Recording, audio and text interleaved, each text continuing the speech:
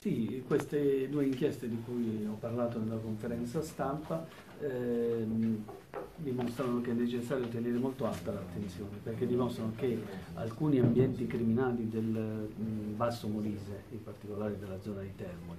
eh, hanno contatti per la materia del traffico di stupefacenti sia con eh, zone del nord Italia, in particolare del Milanese, sia con eh, esponenti eh, della criminalità del Foggiano e sia anche verosimilmente con, eh, direttamente con l'Albania da cui si importa, o comunque dai paesi dell'est da cui si importa della sostanza stupefacente. Non solo, sono stati sequestrati eh, e i capi di imputazione si riferiscono a vari tipi di sostanza stupefacente, marijuana, hashish e cocaina. E oltre agli arresti di oggi ci sono stati nel corso delle,